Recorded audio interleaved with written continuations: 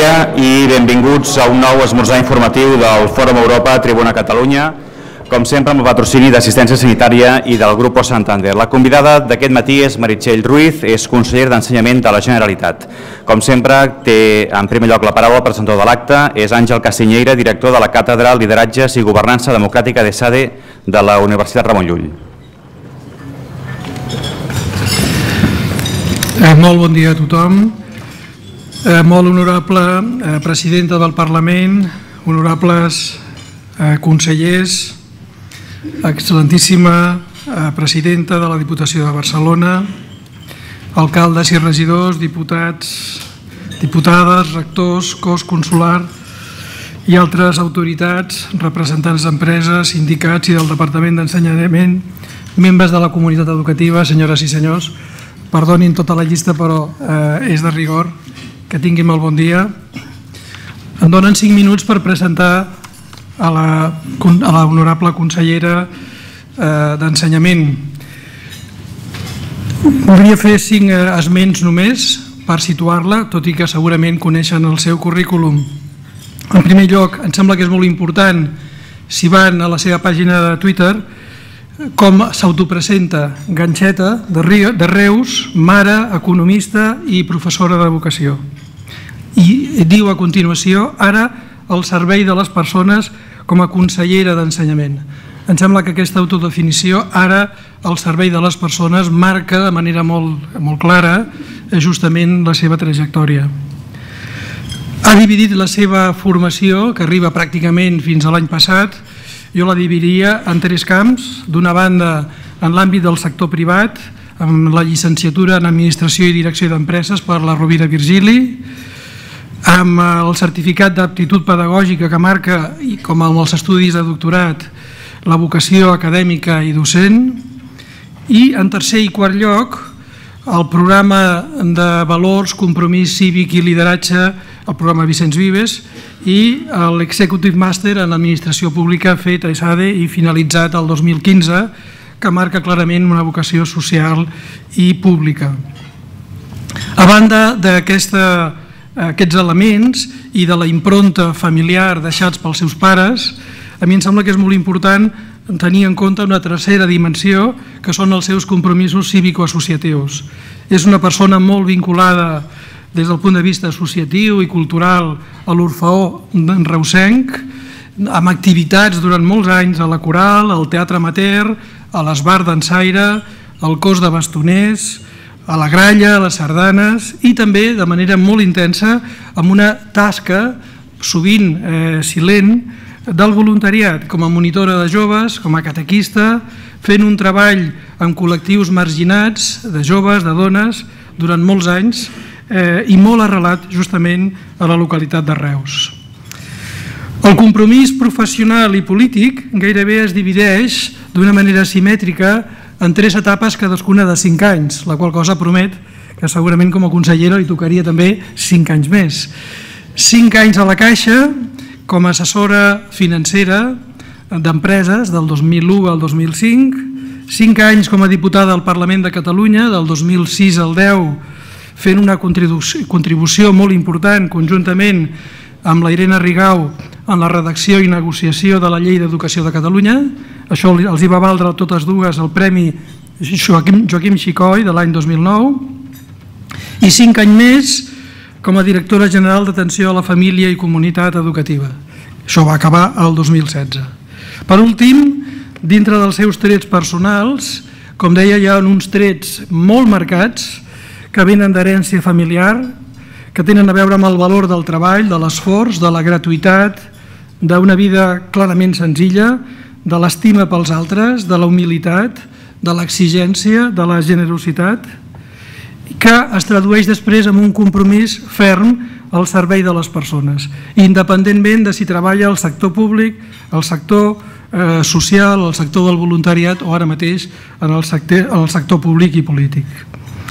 Soc professor eh, de lideratge a ESADE i l'he tinguda com a alumne i moltes vegades cataloguem els lideratges en diversos adjectius.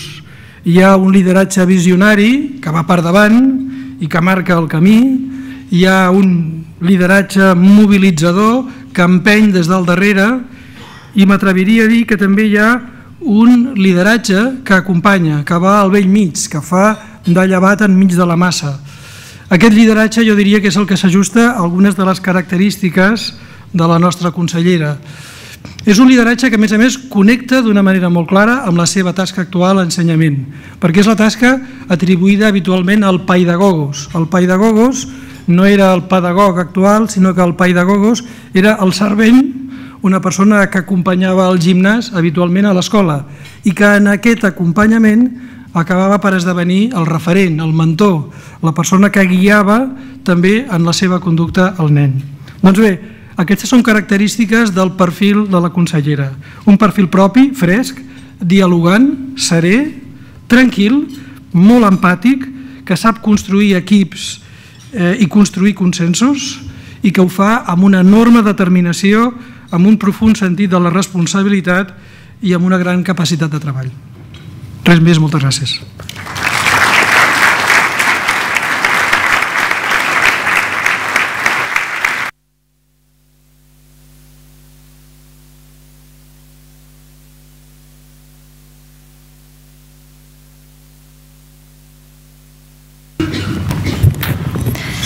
Molt honorable presidenta del Parlament, consellers, companys de govern, presidenta de la Diputació de Barcelona, diputats, alcaldes, regidors, rectors, cos consular, representants d'empreses, sindicats, de la comunitat educativa, benvingut tots.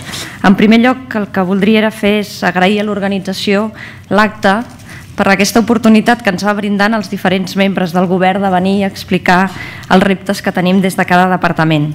En segon lloc, moltes gràcies Àngel per l'amable presentació, crec que hi ha encara moltes coses que he de millorar i sobretot per acceptar fer-la. L'Àngel, amb alguns companys inseparables, fa anys que reflexiona sobre temes de gran transcendència i l'educació és un d'ells però sobretot sobre valors i també ens ho ha explicat sobre lideratges. I enmig d'aquest món on l'efímer i la immediatesa hi són tan presents, són molt necessàries reflexions profundes com les que ens ofereixen persones com l'Àngel. Si no el segueixen a la xarxa els ho recomano, perquè ens va portant càpsules de saviesa, a vegades en 140 caràcters, que sap embolicar molt bé amb enginy i ironia. I des del departament també ens ajuden a reflexionar sobre aquests grans reptes que té la societat.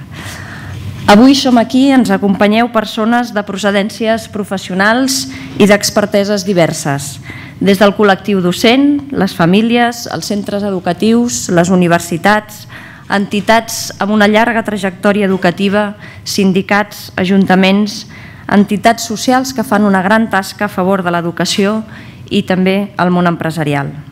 Sou agents ben diversos, però de ben segur que no hi ha consens en aquesta sala, i mira que són molts, que l'educació és l'instrument de creixement personal i de progrés econòmic i social més potent. L'educació és també garantia d'igualtat d'oportunitats, ja que fa possible poder superar tots aquells condicionants personals, familiars, econòmics i socials que una persona té i també és, i sobretot en aquest país, element de cohesió social i cultural. Per tant, l'educació és una realitat bàsica de tota comunitat nacional i una de les prioritats més exigents que té aquest govern. Amb els diferents conselleres i consellers que som aquí treballem tots també eh, en aquest àmbit, en la millora de l'ensenyament. Avui el que voldríem exposar-los són els reptes del sistema educatiu de Catalunya i també les prioritats del nostre govern però jo crec que és bo que abans compartim algunes dades, perquè sovint la percepció que es té a Catalunya sobre l'ensenyament no es correspon a vegades amb l'avançament que hem fet aquests darrers 10 anys en el nostre sistema educatiu. En primer lloc, podríem parlar d'èxit educatiu.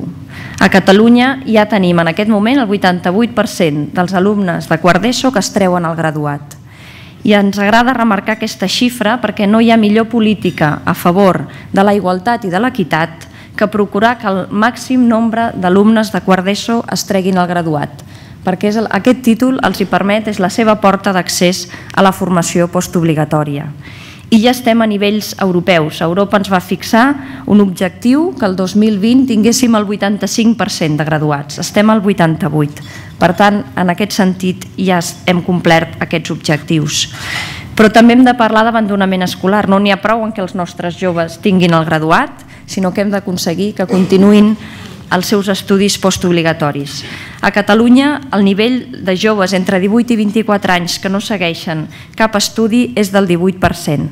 És una dada que no ens satisfà, però hem de tenir en compte que fa anys aquesta dada voltava el 30%. Per tant, ha crescut, ha crescut molt el nombre d'alumnes que segueixen estudis postobligatoris. I si parlem de competències bàsiques, si parlem de resultats, aquests anys també hem vist com han anat millorant aquestes competències, però sobretot ha millorat el percentatge de l'alumnat que no assolia les competències. Per tant, el nostre sistema millora en qualitat i en equitat, però evidentment el nostre repte és, i ha de ser, seguir avançant en aquesta millora competencial dels nostres alumnes, en tots els àmbits, però hem de destacar alguns àmbits on necessitem millorar especialment. En el científic o tecnològic, perquè necessitem més vocacions, i deixi'm dir, més vocacions femenines i en llengües estrangeres. Totes aquestes millores que els he explicat no són fruit de l'atzar, sinó de tota una combinació de diferents factors. En primer lloc, crec que és la nostra obligació anomenar la feina, la vocació i la dedicació dels docents i dels equips directius. Avui ens acompanya professorat i també membres d'equips directius i és de justícia posar en valor la seva feina. Catalunya ha tingut grans canvis en els últims anys, demogràfics, socials, econòmics, a la darrera dècada que han impactat els nostres centres. I crec que l'escola, com cap altra institució d'aquest país, ha facilitat l'accés a la formació, l'acollida de persones que venien de fora i la cohesió social i sobretot ha possibilitat un horitzó de futur pels molts dels nostres infants i de les seves famílies. Per tant, el país ha de confiar en els seus docents i posar en valor la gent tasca educativa i social que realitzen. Volia començar per aquest reconeixement, però també volíem destacar altres elements que des de l'àmbit de la gestió pública educativa creiem que han permès aquestes millores no els podré explicar tot, però sí els més destacats. En primer lloc, un consens polític. Catalunya el 2009 va aprovar el, seu, el 2010 el seu estatut, perdó, no, el 2006 va aprovar l'estatut, i a partir de llavors va tenir la possibilitat de fer la primera educació, la primera llei educativa de Catalunya, que sí, va ser del 2009. Govern en aquell moment i oposició es van posar d'acord per fixar les bases que havien de sostenir el model educatiu en els següents anys. Aquesta, aquest acord que hi ha hagut a Catalunya, malauradament, no té reflexe a l'estat espanyol. A Espanya, la setena llei educativa, la setena, té més lleis educatives que presidents del govern, només ha fet que generar inestabilitat. Cap país capdavanter en educació ha fet una legislació educativa sense consens polític. Per tant, crec que hem de posar en valor aquest consens que es va arribar a Catalunya.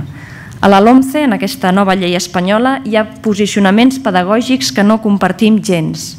Hi ha un menysteniment a la formació professional i, sobretot, també hi ha una greu vulneració de les competències de la Generalitat. En segon lloc, un element que volem destacar en aquesta millora és la transformació del model educatiu. Aquest consens ha portat a la creació d'un marc institucional estable per la millora sistèmica de la qualitat i l'equitat del sistema Incorpora el que ara agrada dir molt del nou paradigma. Una nova estructura del sistema educatiu que aposta per aspectes claus com són l'autonomia, el lideratge pedagògic i l'avaluació com a instrument de millora. I aquest canvi, deixi'm dir-los que és molt important. Hem passat d'un model centralitzat on l'administració decidia com havien d'actuar els centres creant plans homogènics per tots els centres a l'autonomia de centre. L'autonomia esdevé clau, perquè l'administració el que ha d'acabar fent és fixar els objectius i cada centre, tenint en compte les característiques del seu alumnat, actuar amb autonomia per assolir-los. Un model on els centres puguin donar respostes singulars i flexibles i tinguin aquest paper de lideratge educatiu. En aquest context, l'administració el que ha de fer, a part de fixar aquests objectius, ha de ser donar suport i acompanyar els centres en aquests processos de millora i també avaluar-ne periòdicament. L'avaluació ha de ser l'instrument que ens permeti valorar la qualitat d'aquests processos amb la, amb la finalitat, però, de fer propostes de millores tenint en compte la realitat de cada centre. Un país tan centralitzat com és França, portat a Le Monde d'aquest 27 d'agost, que s'està replantejant perquè té molts problemes, com bé sabem, en el sistema educatiu, és un model molt centralitzat i ja s'està plantejant donar autonomia als centres i un lideratge als directors. Per tant, la llei d'educació dona autonomia pedagògica, autonomia de gestió i autonomia d'organització als centres. L'autonomia pedagògica és justament perquè cada centre estableixi els seus plantejaments pedagògics i metodològics per donar resposta en aquests objectius que ens hem plantejat entre tots. Per exemple, els criteris que ha de seguir per atendre la diversitat o per organitzar els grups, el treball dels alumnes, etc. L'autonomia d'organització serveix perquè l'estructura del centre no sigui rígida. No té sentit que si cada centre té característiques diferents, vulguem que s'organitzi de la mateixa manera. Per tant, l'autonomia d'organització el que facilita és que cada centre pugui tenir altres nivells de coordinació diferent i donar resposta, per exemple, a un nou enfocament curricular o al treball en equips o a la potenciació de les llengües, etc. I finalment l'autonomia de gestió, i aquí parlaríem del personal del centre. El centre ha de poder incidir sobre les, les característiques de la plantilla del professorat i la consolidació de l'equip docent. Si un centre que té autonomia, té el seu projecte educatiu que s'ha aprovat per la comunitat educativa, evidentment ha de poder tenir els docents per donar resposta en aquest projecte. Per exemple, si un centre s'ha plantejat poder fer part de les seves matèries en llengua estrangera, és obvi que el docent que pugui ocupar aquella plaça necessita tenir acreditada la competència lingüística necessària per fer això. Això que potser pot semblar molt opi no era així fa 10 anys i en canvi és així ara a partir de la nova llei. L'aposta per aquesta autonomia de centre també requereix potenciar i redefinir el paper de les direccions del centre. Les direccions del centre actualment han de presentar han de presentar el seu projecte que concreti els objectius del projecte educatiu del centre, han de fer un concurs de mèrits i són avaluats al final del mandat. El decret de direccions que concreta eh, doncs, tot aquest recorregut promou un lideratge compartit, un equip directiu que el que ha de fer és potenciar la participació de tot el professorat en aquesta elaboració i aplicació del projecte educatiu de centre, però també la participació i la necessària implicació dels pares, les mares, les mares i la comunitat educativa. I finalment l'avaluació. No hi pot haver autonomia si no hi ha avaluació, perquè l'autonomia sense avaluació sol ser cega. Hem de poder veure si aquells objectius i principis fundacionals de l'escola s'assoleixen i què hem de fer per millorar-los. La llei d'educació implanta la cultura de l'avaluació en el conjunt del sistema justament com a garantia perquè s'ajustin les finalitats al sistema. I aquí també una de les grans diferències amb la LOMCE. La LOMCE el que preveu és que l'avaluació condicioni l'alumne, condicioni l'obtenció del títol de l'alumne i sobretot que limiti les possibilitats futures de formació. L'avaluació no ha de ser això. L'avaluació ha de servir per donar informació al centre, a les famílies i, sobretot, per tenir un coneixement del sistema per poder fer bones polítiques educatives. A més d'aquest triangle que els he explicat, de l'autonomia, el projecte educatiu i l'avaluació, la LEC també potencia la innovació pedagògica, el reconeixement de les bones pràctiques educatives, que deixin dir que jo que tinc l'oportunitat d'anar per molts centres, n'hi ha moltíssimes, i també lideratge educatiu. Una innovació que és necessària, però també hem de tenir en compte que la innovació educativa no pot ser la finalitat del nostre sistema educatiu. La finalitat del sistema educatiu ha de ser que els nostres alumnes assoleixin al màxim les seves capacitats, habilitats i competències, no que el sistema innovi, perquè la innovació és un instrument al servei de la millora de l'aprenentatge, com molts altres instruments dels quals també disposem. I en aquesta direcció que els he dit, d'autonomia, de projecte educatiu, de lideratge, d'innovació, està avançant el nostre sistema educatiu. Una regulació que, deixi'm dir, que comparada amb altres normatives eh, d'altres autonomies és pionera a l'estat espanyol i que ens situa també en bona posició per seguir millorant i fer aquells canvis necessaris per donar respostes als reptes futurs.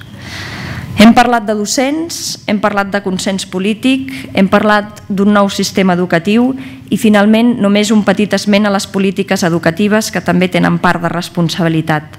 Els darrers anys les polítiques educatives s'han orientat a la millora de la qualitat, de l'equitat i de l'excel·lència com per exemple tots aquells, les, aquelles prioritats educatives que ens van fixar l'any 2012 en el Pla a favor de l'èxit educatiu que està vigent fins l'any 2018 i que vol donar resposta als reptes que la Unió Europea ens ha marcat en l'àmbit educatiu.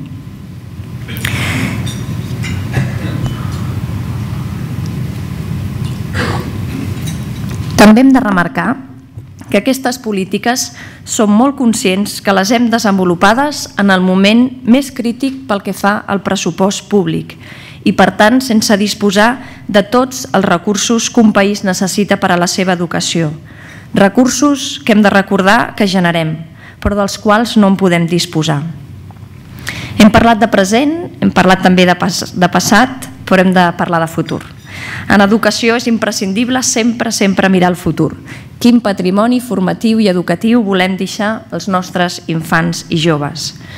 Per tant, ara el que passarem a explicar-los és alguns, només alguns, dels reptes que tenim aquesta legislatura. Em perdonaran si me'n deixo uns quants, són molts, però hem hagut de triar pel temps que tenim alguns d'ells. La gestió del coneixement en el segle XXI tots som conscients que ha esdevingut un element fonamental per les nostres societats. La societat viu en un continu canvi i si la societat canvia, l'educació també ha de canviar. Gestionar, gestionar el coneixement significa disposar no només de coneixements, sinó també de criteris, de destreses i d'habilitats. I les pràctiques educatives han de donar resposta a aquestes necessitats. Tots els experts internacionals i les institucions han posat sobre la taula aquesta necessària transformació dels sistemes educatius. El fet educatiu adquireix en aquest escenari unes dimensions que fan que haguem de definir un sistema i un model pedagògic que orienti els processos d'ensenyament i d'aprenentatge amb una perspectiva que ha de ser doble. En primer lloc, una formació competencial, i després en parlarem, però en segon lloc, també un horitzó d'aprenentatge al llarg de la vida. En aquests dies que anem a fer presentacions d'inici de curs, donem la benvinguda a tots els alumnes i els diem tranquils que mai haureu acabat d'estudiar, perquè a partir d'ara hi ha d'haver sempre un aprenentatge al llarg de la vida. Alguns d'aquests reptes en els que estem treballant aquesta legislatura. En primer lloc, aquest model competencial. Ja va ser el Parlament Europeu i el Consell d'Europa el 2006 que van incidir en les competències bàsiques per a l'aprenentatge permanent com un element de realització personal, de cohesió social i com un factor que contribueix a la qualitat del treball i a la productivitat. Les competències bàsiques són aquelles que capaciten per accedir a la vida adulta i per a l'adquisició de les competències professionals. Estem parlant de les competències comunicativa, la matemàtica, la científica, la digital, l'aprendre a aprendre, la social, la cívica o l'artística. I els hi hem d'explicar que a Catalunya fa dos anys, i els docents que són aquí ho saben, que estem treballant cap a aquest model competencial. El que volem és que els nostres alumnes tinguin la, la capacitat d'utilitzar tots aquells coneixements, habilitats de manera transversal i davant de cada situació particular en què es trobin, saber mobilitzar aquells sabers i aquelles habilitats que són necessàries per poder donar una solució efectiva a cada context, perquè això és el repte que en un futur es trobaran. I aquest enfocament és important i aquest és un canvi important que estem fent. Ara ens queda una part, la part d'arribar al centre, de que això sigui útil i que realment arribi a canviar les pràctiques educatives. Un segon àmbit de treball és el perfil professional docent. Evidentment que una transformació així necessita que ens plantegem i que revisem quina ha de ser la professió docent i donar eines per a la seva millora o per la millora de la competència professional. La formació inicial del professorat requereix d'una estreta col·laboració entre el Departament i les universitats. Avui són aquí alguns rectors que ens acompanyen i saben ben bé que aquests darrers anys hem iniciat una estreta col·laboració per millorar la formació inicial i ja al curs 17-18 hi haurà també una prova específica per entrar al grau de mestre, perquè el que volem aconseguir és, a part de que tinguin uns bons resultats a l'ESPAU, aconseguir perfils eh, específics en vocació per entrar als estudis de magisteri. També cal una reflexió important que l'hem de fer entre tots. Com ha de ser l'accés a la funció docent, al professorat novell i com ha de ser el període de prova amb la finalitat de valorar l'exercici de la professió. I d'altra banda també tenim, evidentment, tots els docents que ja tenim dins el sistema i hem de parlar de formació permanent del professorat. I en aquest àmbit estem desenvolupant diverses actuacions per promoure el creixement professional de mestres i professors. Un tercer repte que estem treballant i ho estem fent conjuntament amb el Departament de Treball, que avui ens acompanya la consellera, és la formació professional. Un dels, dels ensenyaments claus perquè Catalunya progressi socialment i econòmicament. Les polítiques públiques sobre formació professional esdevenen imprescindibles per millorar l'ocupabilitat de les persones i la competitivitat empresarial, però també en termes de desenvolupament personal, de projecció professional i de cohesió social. I volem que ja que tenim també una llei de consens, la llei de formació professional, aquesta sigui la palanca per situar la formació professional com a referent en l'àmbit europeu. Deixi'm dir-los que tenim els elements per fer-ho possible. Tenim un país dinàmic, tenim un teixit empresarial divers i tenim uns centres educatius que han fet passos importants en la qualitat de la formació professional. Ara hem de treballar dos reptes, un la governança i dos que hi hagi una percepció social més favorable a la formació professional. Les xifres creixents de persones que se'ns matriculen a la formació professional, 236.000 el 2015, entre formació inicial i ocupacional, confirmen que hi ha un consens social en què invertir en formació professional és una estratègia no només adequada, sinó imprescindible.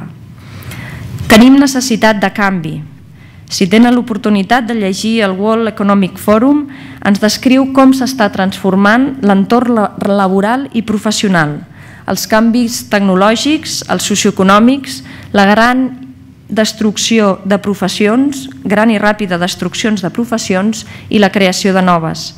La necessitat de professionals en competències STEAM, Science, Technology, Engineering, Maths, l'oportunitat que tenim de la llei de formació professional. Ens volem reformar en aquest impuls que hem de donar a la formació professional i també al sistema educatiu i la posada en marxa, com els dèiem, d'un sistema de governança i uns sistemes de gestió que permetin abordar de manera integrada alguns dels reptes del sistema formatiu i laboral. Tenim un gap entre la demanda laboral especialitzada que ha estat insatisfeta i, en canvi, la sobreproducció d'alguns perfils professionals que tenim pronòstics dubtosos de la seva ocupabilitat a llarg termini. També tenim el repte de la formació al llarg de la vida, que és imprescindible com a base d'ocupabilitat al llarg recorregut. Davant d'aquests reptes, què estem treballant conjuntament? Doncs, en primer lloc, un acostament als sectors productius. Hem de conèixer i atendre les necessitats que té el nostre món empresarial per contribuir també a la competitivitat de les empreses. I, per altra banda, ho hem de fer perquè volem assolir una millor ocupabilitat de les persones que estudien formació professional. També estem dissenyant una nova governança que ha de ser basada en organitzacions flexibles on tots, tots els agents siguin corresponsables i que decideixin les estratègies a seguir, com ho poden ser el Consell Rector de la Formació Professional i l'Agència de Formació i Qualificacions Professionals. Aquesta governança el que ha de permetre entre tots és fer la prospectiva i la detecció de necessitats futures, repensar l'orientació professional, crear la xarxa de centres de formació professional integrada, que pugui ofertar els serveis integrats del sistema, definir els nous perfils professionals i un sistema integrat d'acreditació de competències, entre d'altres. Dia vaig llegir un estudi una mica impactant, que és que els nostres alumnes de P3, quan acabin l'escolarització, el 85% de feines no existiran. Per tant, no sabem ben bé per què els hem de preparar, però sabem que els hem de preparar bé. I justament en aquí la formació professional té un paper important. Hem de detectar aquestes necessitats i hem de crear ara els perfils professionals que es necessitaran en aquest país d'aquí 5 o 10 anys. Un altre repte són les llengües estrangeres. En un món global i canviant com el que vivim, evidentment el domini de diverses llengües i el seu ús comunicatiu, acadèmic i professionals no és que sigui bo, és que és imprescindible. I per tant, el nostre sistema educatiu ha de poder crear parlants plurilingües que tinguin diferent domini de les llengües i que siguin capaços d'interactuar en un context que és lingüístic, que és complex perdó, en l'àmbit lingüístic i en l'àmbit cultural. El nostre model lingüístic garanteix el domini de la llengua catalana per part de tots els alumnes i ho ha de seguir fent perquè també és una eina de cohesió, d'identitat i de convivència, així com també garanteix el domini de la llengua castellana i d'una primera llengua estrangera. Tenim un primer pas ja fet, que és que qualsevol alumne que entra al sistema, quan acabi, sigui quina sigui la seva llengua habitual a l'iniciar l'ensenyament, domina les dues llengües oficials al final de l'educació obligatòria. Per tant, no entenem certs atacs a un model que ja està donant bons resultats. Evidentment, hem de treballar per seguir millorant i per això hem plantejat el desenvolupament d'un model plurilingüe, que puguem tenir els nostres joves amb un coneixement òptim d'una primera llengua estrangera i la introducció d'una segona llengua estrangera. Aquest és el nostre repte. I a més a més hem de tenir en compte que molts dels alumnes d'aquest país venen amb una llengua materna i aquesta és una gran riquesa pel nostre país. Per tant, hem també de procurar el manteniment i la difusió d'aquestes llengües. No ho hem de veure com un problema, sinó com una riquesa portada i com una oportunitat per a aquest alumnat en un marc d'una societat que es vol internacional. I finalment, un sistema que doni resposta a les necessitats de cada alumne. Estem treballant per un sistema educatiu inclusiu per a tothom, sense barreres en tots els àmbits, a l'educació formal i a la no formal. Aquest sistema educatiu forma part, ha de formar part d'una xarxa de sistemes que ha de donar resposta a les necessitats bàsiques de tot l'alumnat al llarg de tota la vida.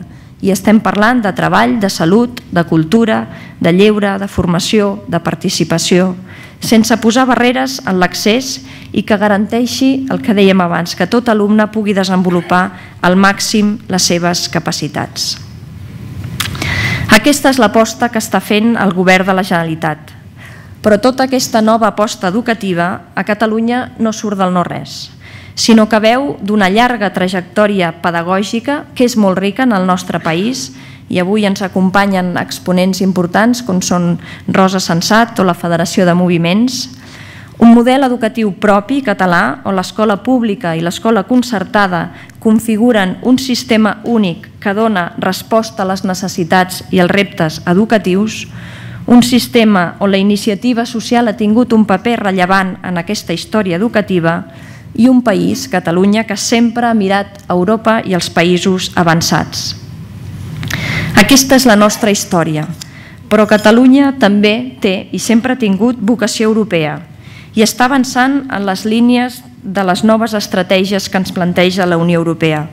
Hi ha un document molt interessant que s'ha fet després de l'important informe de l'ORS que es diu Rethinking Education, és del 2012, segur que molts dels que sou aquí l'han llegit, on estableix com a objectiu prioritari justament la reforma dels sistemes educatius per aconseguir uns resultats d'aprenentatge en coneixements, en capacitats, en competències, com els hi dèiem, adequats al nou escenari econòmic i social. I això és el que estem fent a Catalunya i això és, o aquest és el camí cap on estan avançant els nostres centres educatius en aprenentatge competencial, en autonomia, en avaluació, en aprenentatge al llarg de la vida. Però no ens conformem en aquest canvi. No podem ser conformistes i mai si estem treballant en el món educatiu. Un canvi que s'està aplicant, però hem de seguir reflexionant sobre el model, les maneres d'aprendre, d'ensenyar i d'avaluar per tal d'aconseguir, com ens va dir el Consell Escolar de Catalunya, i ara faig, cito les seves paraules, educar les persones que han de viure i treballar en una societat complexa, diversa i globalitzada i maximitzar l'èxit escolar i la satisfacció personal amb el coneixement i la cultura. I aquest és, i per acabar, el repte a llarg termini que ens hem plantejat. Partim d'aquesta transformació educativa que està fent el nostre sistema educatiu a Catalunya, però hem de seguir les recomanacions de la Unió Europea, de l'evidència científica i de països que ens poden ser de referència – i per això hem encomanat al Consell Escolar de Catalunya, avui ens acompanya el seu president i altres membres, els hem encomanat que iniciïn un debat sobre el futur de l'educació al nostre país. Un debat que parteixi de la comunitat educativa i no només del govern. Obert a les aportacions de tots els actors que hi vulguin participar i des del coneixement i l'experiència de cinc grans experts que debatran sobre els fonaments actuals i futurs del nostre sistema. Estem avançant, però volem avançar més i per això hem fet aquest debat que s'iniciarà aviat. L'educació no pot ser un arma ideològic, un àmbit ideològic. Ha de ser un àmbit de consens social i polític i això és el que volem fer amb aquest debat. I per acabar, dir-los que l'educació tampoc pot ser només exclusivitat dels centres educatius. Cada actor de la societat, i aprofito avui que sou molts, ha de ser molt conscient de la seva incidència i del seu grau de responsabilitat. Primer és evident, la responsabilitat és de les famílies. Després és del sistema educatiu, però també dels ajuntaments, avui que ens acompanyen alcaldes, un representant també de l'Ajuntament de Barcelona, amb els que anem ampliant camins de corresponsabilitat, però també del lleure educatiu, de les entitats socials, dels mitjans de comunicació. En la millora de l'educació, el repte és compartit per tots i no podem abocar només al sistema educatiu la responsabilitat d'aquesta millora. Bé, per acabar només dir que avui els hem volgut explicar cap on avança el nostre sistema educatiu i quins són els reptes de futur. Volem una nova Catalunya que faciliti la millor formació possible i educació als seus ciutadans i ciutadanes, perquè volem que tinguin una vida adulta plena i sobretot avançar cap a un país amb progrés social, econòmic, que sigui un país culte i més just. Gràcies per la seva atenció.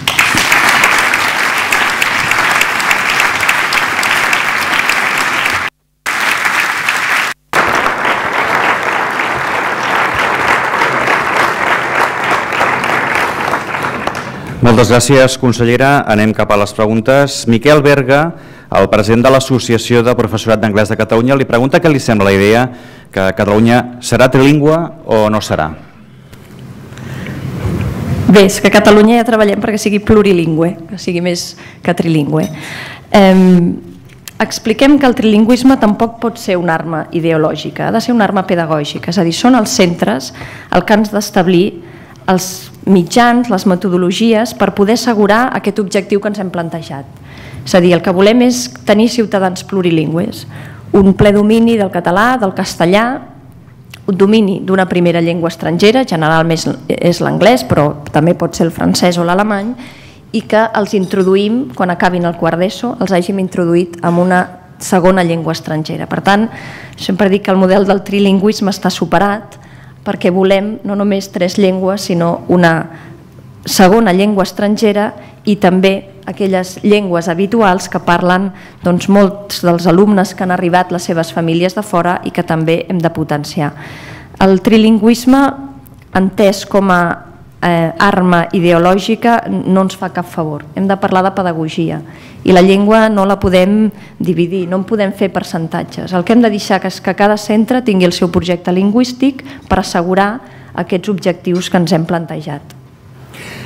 Què li va semblar quan Albert Rivera i Mariano Rajoy van signar aquest acord en el qual hi havia el trilingüisme com un dels punts més importants per Ciutadans, que és la primera cosa que li va venir al cap? De preocupació, perquè seguim fent ideologia amb el que ha de ser pedagogia. I en això doncs, enllaço amb el que he dit abans. És a dir, la metodologia que hem de fer servir a l'aula l'ha de decidir el centre. El trilingüisme, que el que proposa és fem un 30, un 30, un 30, no té en compte la situació de cada alumne ni la situació de cada centre. Si tenim un alumne a primer d'ESO amb dificultat, per exemple, per seguir les matemàtiques, si damunt els hi fem en anglès, ni aprendrà matemàtiques ni aprendrà anglès segurament. Per tant, hem de tenir en compte la situació de cada centre, la situació de cada alumne i que sigui el centre educatiu el que decideixi si fa una part d'una matèria en anglès, si fa eh, agrupacions diferents per poder eh, doncs, incrementar l'ús comunicatiu de l'anglès. El que els hem de dir és que el nostre sistema educatiu ja tenim el 59,2% dels centres que fan part de matèries no lingüístiques, o sigui, que no sigui català, castellà o anglès, de les altres matèries, gairebé el 60% dels nostres centres ja està utilitzant una altra llengua per fer part d'aquestes matèries. Per tant, en tot cas, això ja, ja està molt extès. El que volem és anar més enllà, però sense fer-ne ideologia, sinó fent pedagogia. Montse Poblet de Catalunya Ràdio li pregunta si contempla la contractació de professorat estranger perquè els alumnes treballin amb nadius anglesos o gent que domini la seva llengua materna, com va proposar aquest estiu Oriol Amorós. El que estem fent des del Departament d'Ensenyament és millorar la, la capacitat comunicativa i de domini lingüístic dels nostres docents que volem és que pugui ser el, el mateix docent a l'aula el que pugui utilitzar diferents llengües per fer aquest aprenentatge. És una opció, ho, en, ho estan plantejant alguns ajuntaments i ho estem parlant. Jo crec que el nostre objectiu ha de ser millorar la, la competència lingüística dels nostres alumnes a través d'oferir doncs, eh, un enriquiment lingüístic també als nostres docents. Això és llarg, som conscients que és un repte a llarg termini, que un idioma no s'aprèn en tres dies, però sí que comencem a tenir dins el sistema educatiu i també estem parlant amb les universitats perquè tots aquells alumnes que accedeixen a magisteri quan acabin tinguin un bon domini de l'anglès i per tant ja puguin accedir amb un nivell com un mínim de B2 a fer part de les matèries en anglès. En Pere Forga, de la Federació d'Ensenyament d'USOC, diu el consens parlamentari de l'ELEC no existeix actualment i davant d'un possible canvi legislatiu es pregunta com es poden garantir que no es modificarien els grans principis de la LEC, especialment destacar el Servei d'Educació d'Interès Públic. Bé, qui ho ha de garantir això és el Parlament. El que hem de fer, jo crec, és fer molta també pedagogia, deixem-ho així, deixem-ho dir així, dels grans acords que allà es van arribar. Sincerament penso, i aquí som uns quants diputats que vam treballar aquella llei, que és un bon, un bon punt de partida pel nostre model educatiu. I aquí crec que cada partit s'ha de posicionar, i ara parlo més de partits que no de govern, en quin model de societat vol, en quin sistema educatiu està parlant. Però hi ha grans debats que, que crec que han d'estar superats i grans debats que hem de fer com els que estem plantejant en el Consell eh, Escolar de Catalunya. Catalunya té un model educatiu bo, L'altre dia, si he tingut l'oportunitat de llegir un suplement de diumenge eh, que parlava sobre Finlàndia, la ministra d'Educació va dir que mirava a Catalunya perquè tenia eh, idees similars. Per tant, tan, tan mal orientat no deu estar el nostre sistema com per haver-lo de canviar de dalt a baix. Crec que hem de mantenir el consens que tenim i el que hem de fer és mirar tots aquells altres reptes que evidentment doncs, el 2009 no ens plantejàvem i donar-hi resposta, però mantenint el que és el, el model educatiu actual. Arran d'aquesta resposta que acaba de dir ara, li pregunten com veu vostè Finlàndia? com un país fred. A veure, no es poden exportar models educatius. La societat finlandesa no és la societat catalana. Eh, tendim a agradar tot allò que funciona, pensar que seria excel·lent aplicar-ho al nostre país. Hem de tenir en compte que Catalunya té les seves particularitats, té les seves especificitats i el que hem de fer és aprendre d'aquells grans temes que l'evidència científica ha demostrat que en diferents països tenen bons resultats. Per exemple, l'autonomia. Hi ha molta gent que parla de Finlàndia, però no parla que a Finlàndia els centres tenen molta autonomia. Doncs hem de, hem de ser aquests elements que hem de valorar i mirar com poden introduir-se i si és positiu introduir-los al nostre sistema però ni, les, ni el sistema educatiu català i el finlandès és igual, ni sobretot l'estructura familiar i, deixem-ho dir així, les condicions de conciliació de la vida familiar i laboral són iguals a Finlàndia que a Catalunya, ni tampoc és igual a l'estructura social de Finlàndia i la catalana. Doncs en Joan Roca vol que li expliqui per què considera important l'autonomia dels centres i per què és important que desenvolupin el seu propi projecte educatiu. L'autonomia és important perquè no hi ha ni cap centre igual ni cap alumne igual. I pensar que homogenitzant-ho tot aconseguirem bons resultats per tothom ens estem equivocant. Cada alumne necessita de metodologies segurament diferents, de suports diferents. Cada entorn, cada escola és diferent, cada projecte familiar és diferent. Per tant, hem de poder permetre tenir bons centres cadascú amb el seu projecte i que siguin les famílies els que puguin buscar projectes que s'identifiquin més en el seu projecte familiar.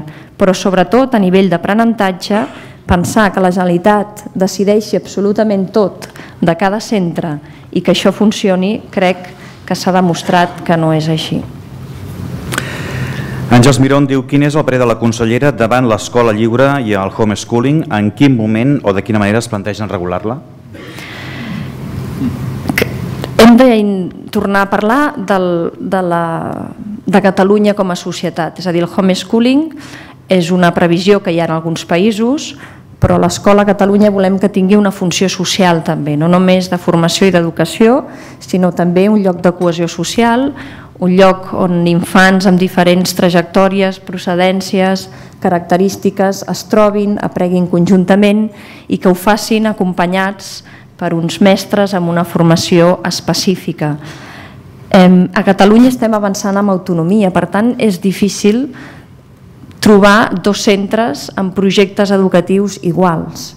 El que hem d'avançar és anar diferenciant projectes educatius i que per tant tinguem tants projectes educatius eh, com, bueno, projectes familiars seria impossible, però projectes educatius ben diversos perquè tothom pugui trobar una escola on eh, veure-s'hi reflectit i on portar els seus fills. Per tant, nosaltres som dels que pensem que l'escola és on s'ha de fer aquest procés d'educació de, i d'aprenentatge que parteix de casa però que s'amplia a l'escola.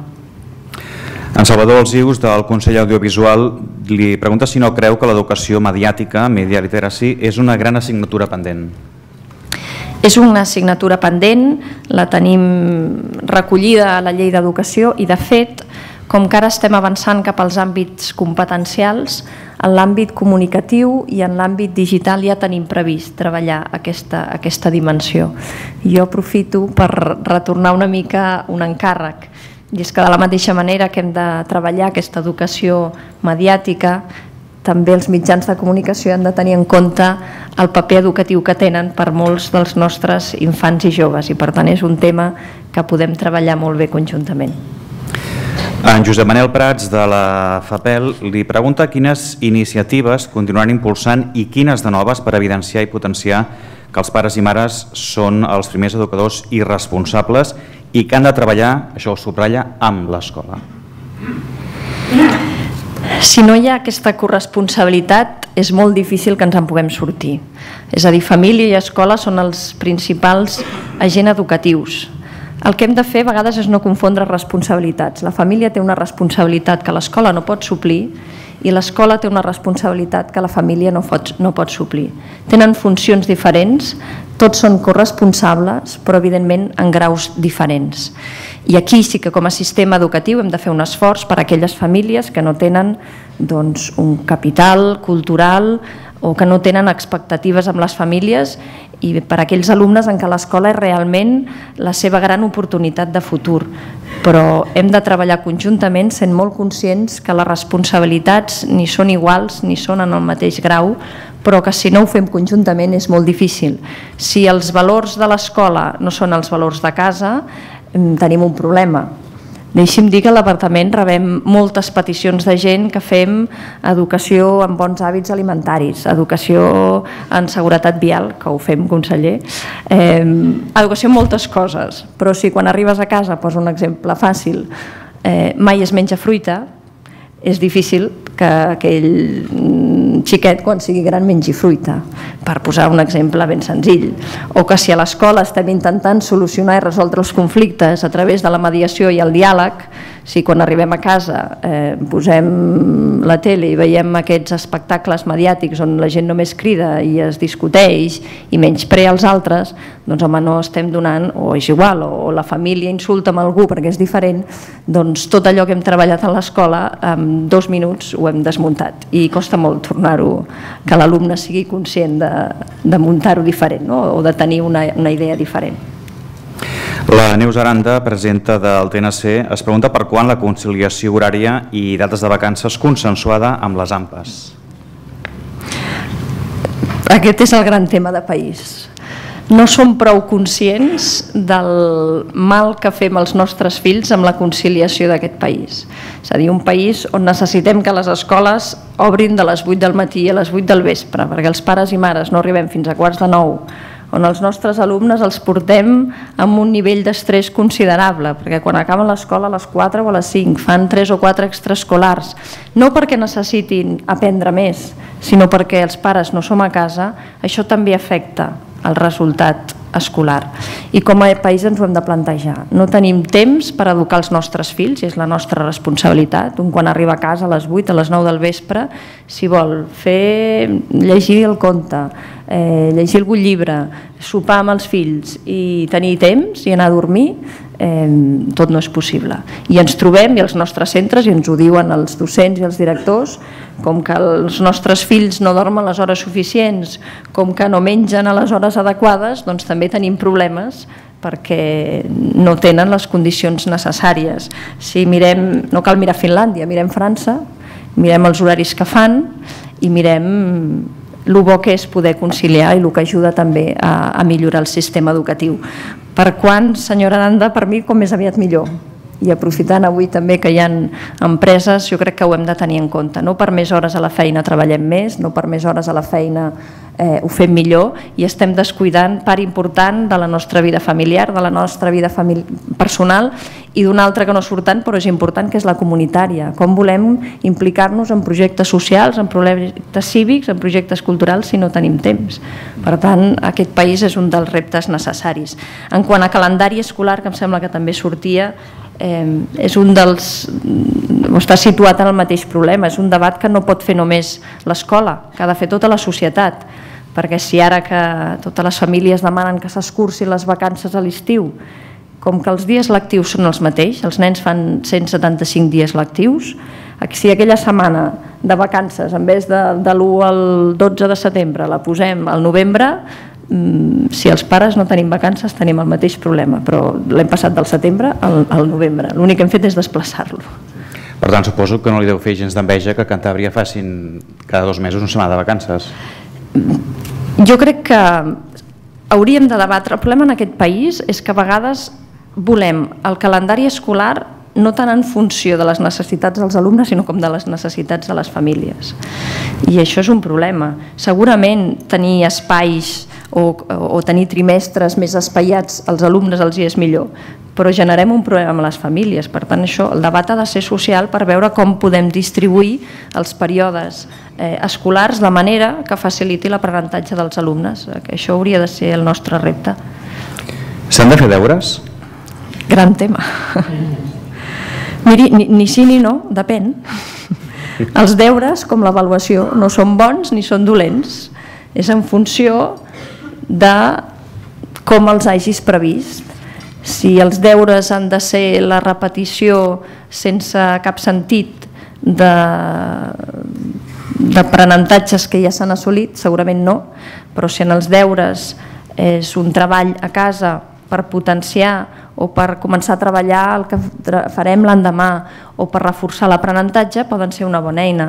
Jo el que aquí mm, voldria posar sobre la taula és que hauríem de confiar més en els nostres docents perquè estic convençuda que la majoria el treball que porten els alumnes a casa té un sentit i si no és així doncs hem de treballar perquè en tingui però hem de tenir en compte que, que els nostres docents són els que, els que estructuren l'aprenentatge i els que estructuren l'organització de l'aula i pensen en aquestes coses. Jo debats deures sí, deures no, el trobo mm, poc profund.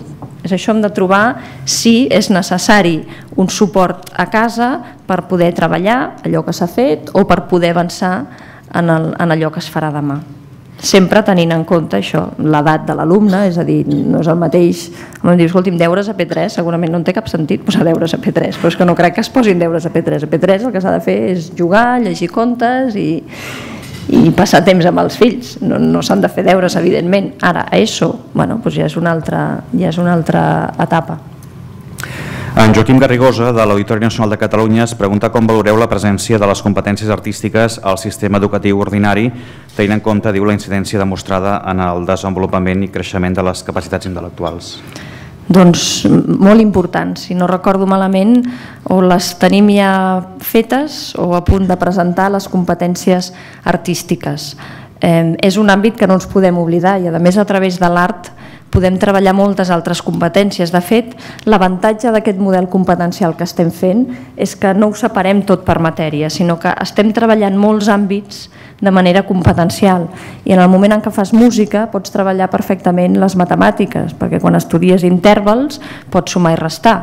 Per tant, hem d'aprofitar tots aquests coneixements per treballar-los de manera transversal i, evidentment, els ensenyaments artístics són una competència que ens pot ajudar a treballar moltes altres, la comunicativa, per exemple, també, o d'altres. En Jordi Riera, de la Universitat Ramon Llull, diu ja que el Consell Escolar de Catalunya liderarà el debat sobre el futur de l'educació, es pregunta si convocarà agents educatius que van més enllà de l'àmbit escolar. Sí, en tot cas això, mm, amb el president del Consell Escolar de Catalunya eh, ho, ho han de parlar, però el que hem previst, el que ha previst el Consell, és que aquest debat no només sigui dels membres actuals del Consell Escolar, sinó que es pugui estendre a totes aquelles persones interessades en el debat educatiu. I no només això, sinó que agrairem molt que hi participin, perquè creiem que pot ser un debat molt important. És un debat que s'ha plantejat Eh, hi ha cinc experts, parlarem d'autonomia, parlarem de professorat, parlarem d'alumnat, parlarem també de, dels, dels pilars del sistema educatiu, ho faran doncs, catedràtics d'aquí, també alguna, algun català que tenim a fora, el Francesc Padró, que havia treballat a la Unió Europea, que ara està treballant a l'OCDE, i el que volem fer és, sense tenir en compte cap restricció normativa ni pressupostària, quins són eh, les bases d'un futur model educatiu. I per què ho fem això? Doncs perquè a Catalunya moltes vegades no hem pogut debatre, quan vam fer la LEC, per exemple, no vam poder debatre sobre etapes educatives i vam aplicar la LOE, que ve de la LOCSE, i per tant les etapes són del 0,3, de 3,6, de 6 a 12 i de, de 12 a 16, de 16 a 18.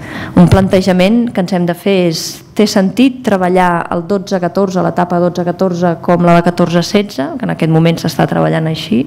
Ens podem plantejar etapes diferents, ens podem plantejar mm, una arquitectura, una organització diferent de la que tenim fins ara.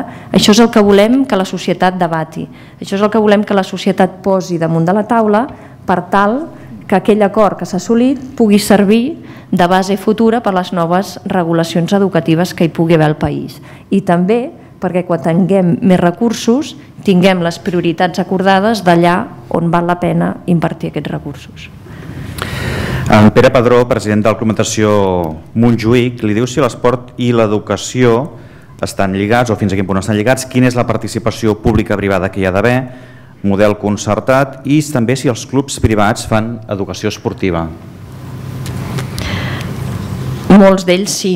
La, la competència també en l'àmbit físic és una de les competències que també estem treballant, és l'última però aviat la tindrem feta eh, perquè és evident que com l'artística també és un àmbit important.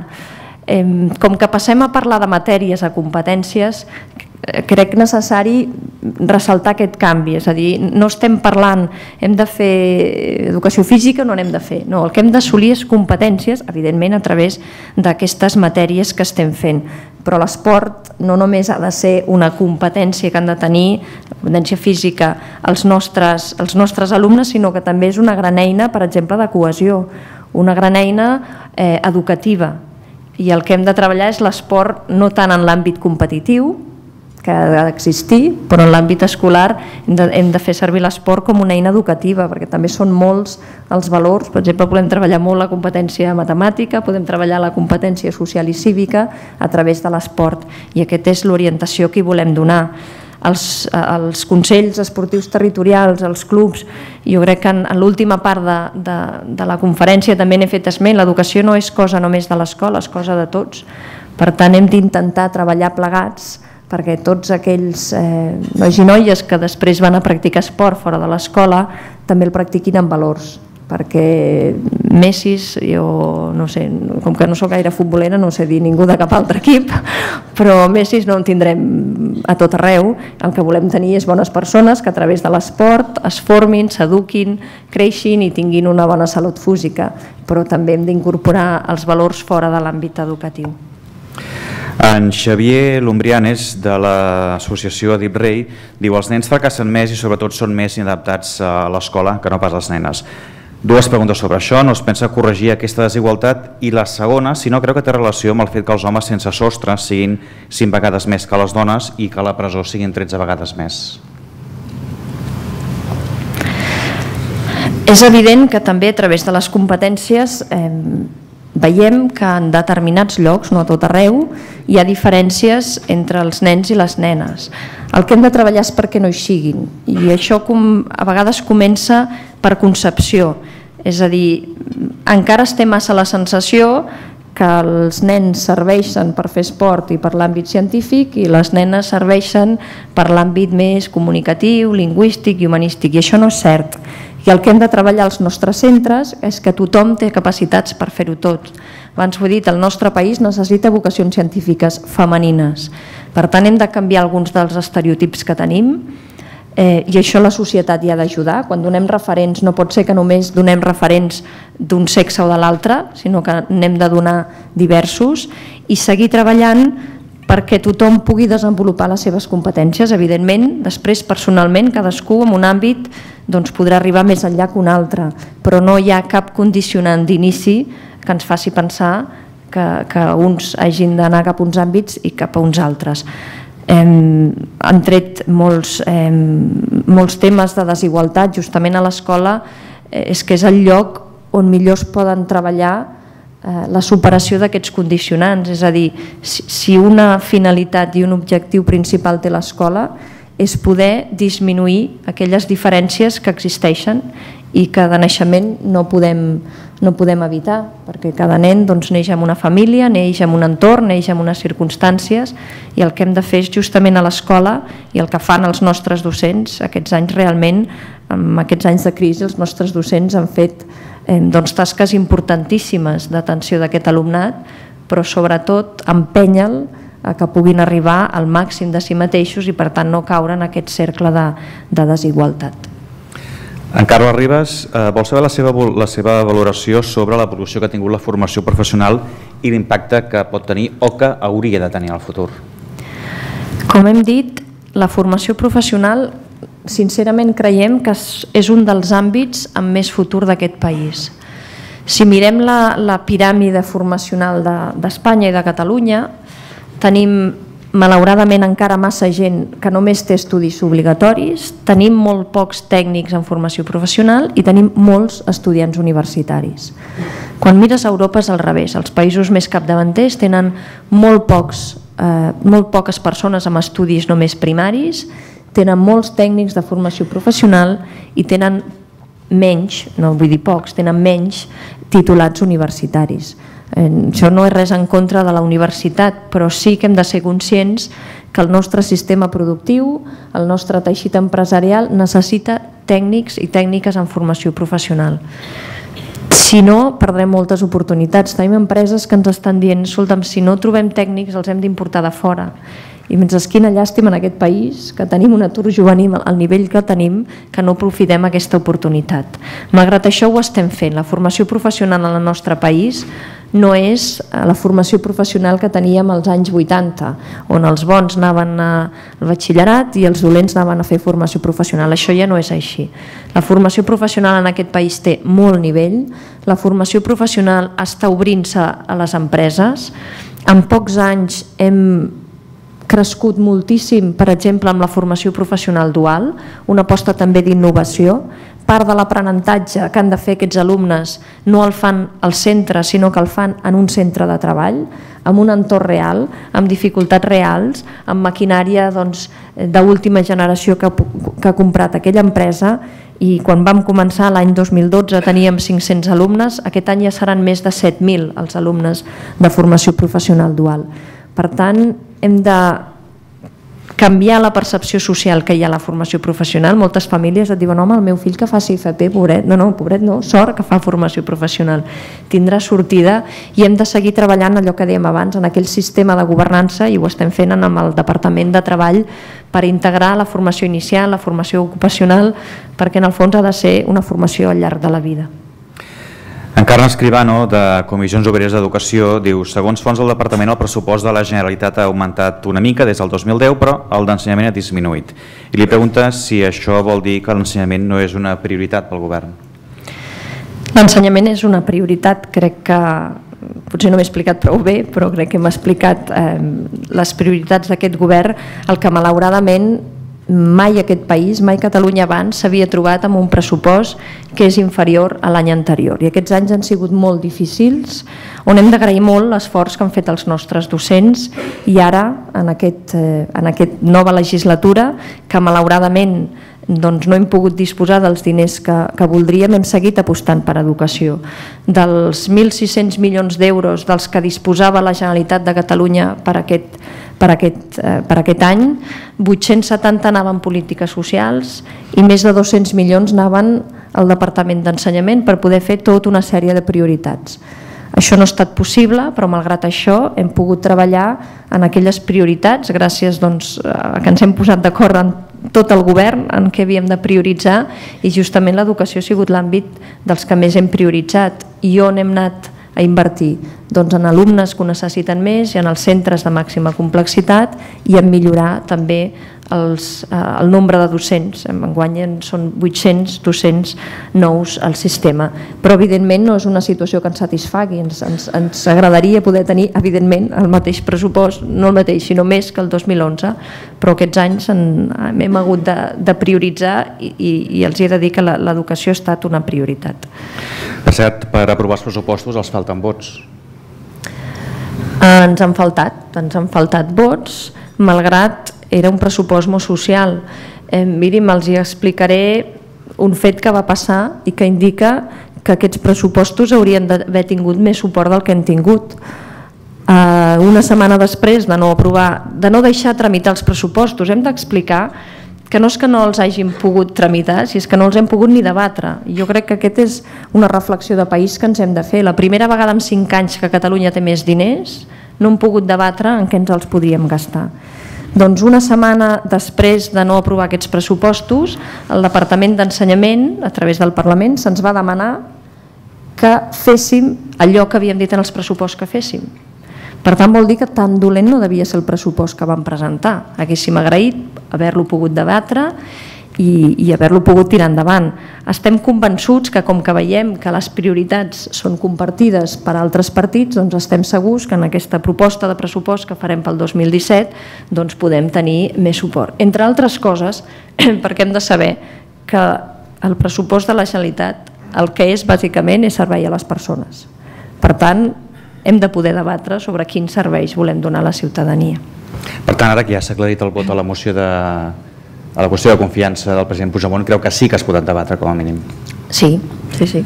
Estic convençuda perquè estic convençuda de que compartim moltes de les prioritats que hem establert. I una última pregunta li fa al Joan Sallés. Com valora que una sèrie de TV3 com Merlí divulgui el món educatiu adolescent? No sóc futbolera i no sóc televisiva, ho sento. No miro la tele. He de dir que només l'he mirat una vegada. Jo crec que és important malgrat no puc parlar perquè no he vist la sèrie. A vegades penso que llàstima no, és important, per exemple, que hagi sigut en un àmbit com la filosofia. Ara que han fet una nova edició, a veure si introduïm també les ciències, que féssim les dues coses, filosofia i ciències, que són dos àmbits dels que volem potenciar. Si això serveix per posar el sistema educatiu al centre del debat social i de la consciència social, doncs és important que això es faci. Però em sap greu, malauradament, no poder-ho valorar perquè no segueixo la sèrie. Perdó, eh, pels de TV3. Doncs moltes gràcies Meritxell Ruiz per la conferència per les respostes. Abans d'acabar, com sempre, té la paraula final en nom dels patrocinadors. Avui Montserrat Cavaller d'Assistència Sanitària. Bon dia a tothom. Uh, bé, en primer lloc, donar les gràcies al professor Castanyeira per haver assistit avui aquí i, evidentment, a la consellera Meritxell Ruiz, uh, el nostre agraïment per la seva àmplia exposició i no tan sols del que s'ha esdevingut fins ara i de com s'està portant a terme l'ensenyament a Catalunya, sinó també dels plans de futur que hi han i d'aquesta obertura i aquest consens, aquest consens que es vol adquirir. Esperem i desitgem que tot vagi molt bé i en nom dels patrocinadors, Grup Santander i Assistència Sanitària, moltíssimes gràcies a tots vostès per haver assistit. Fins la propera edició. Bon dia.